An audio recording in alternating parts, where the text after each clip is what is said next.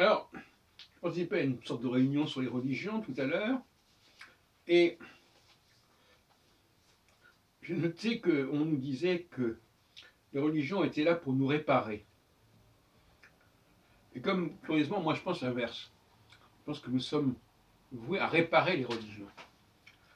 C'est toute la différence de point de vue.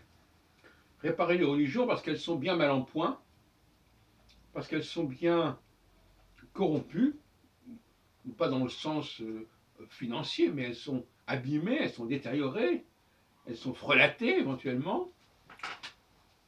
Et donc, la démarche épistémologique qui est la mienne, c'est de considérer ces structures religieuses, ces messages, ces théologies, comme des objets pouvant avoir été euh, déformés par des emprunts, par des suppressions, par des oublis, etc. etc.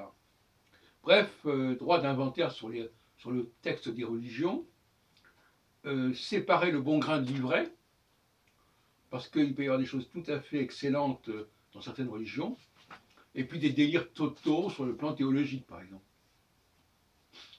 Souvent, les religions, sur le plan éthique, bon, bah, ça se tient.